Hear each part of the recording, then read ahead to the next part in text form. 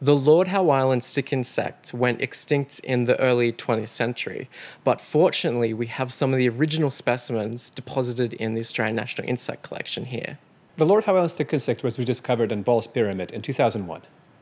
Ball's Pyramid is a rocky islet about 20 kilometers away off Lord Howe Island. There's currently uh, a program to try to establish a captive bred population. It's been going on for a couple of decades at the Melbourne Zoo in Europe and in North America efforts are underway to eliminate rats from Lord Howe Island and to eventually to reintroduce the stick insect to its native habitat.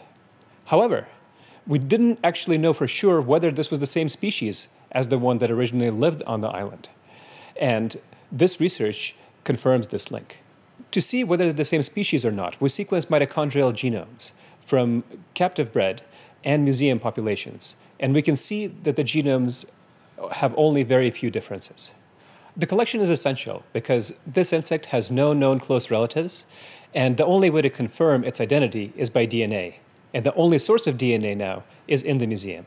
Collections like the Australian National Insect Collection are important for conservation because they tell us where and when specimens occur. What's really exciting is that we thought this species was lost to time through extinction, when rats are finally eradicated from Lord Howe Island, Australia can repopulate the islands with this iconic species.